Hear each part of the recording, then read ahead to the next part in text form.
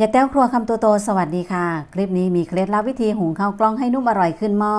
และไม่จำเป็นต้องผสมข้าวขาวหุงออกมาแล้วก็นุ่มอร่อยขึ้นหม้อไม่แข็งกระด้างเหมือนเก่า เทคนิคก็ง่ายมากๆเลยนะคะ คลิปนี้จะใช้ข้าวกล้องที่ 3 ถ้วย หรือว่าขึ้นอยู่กับปริมาณของคนทานในครอบครัวค่ะ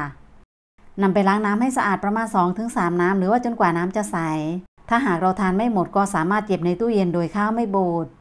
และข้าวที่นิยมมาทำข้าวกล้องก็จะเป็นข้าวหอมมะลินะคะ เนื่องจากว่ามีความนิ่มกว่าข้าวพันธุ์อื่น ๆ ถึงจะนิ่มกว่าก็จะยังแข็งอยู่ เนื่องจากว่ากะเทาะแต่เปลือก และส่วนที่เห็นเป็นสีน้ำตาลนี้ก็คือไฟเบอร์ซึ่งหุ้มเม็ดข้าวสีขาวๆอยู่ ถ้าขัดออกก็จะเป็นข้าวหอมมะลิปกติทั่วไป และเสน่ห์ของข้าวกล้องก็จะมีกลิ่นหอม เห็นเป็นสีน้ำตาลนี้ก็ไฟเบอร์สูงมากๆเลยนะคะ รวมทั้งมีวิตามินที่เป็นประโยชน์ต่อร่างกายอีกมากมาย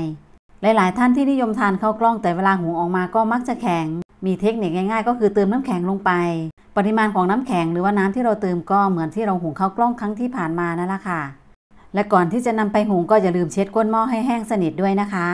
พอหม้อข้าวดีดก็จะเพิ่งเปิดฝาหม้อนะคะ อบข้าวต่อประมาณ 10-15 นาที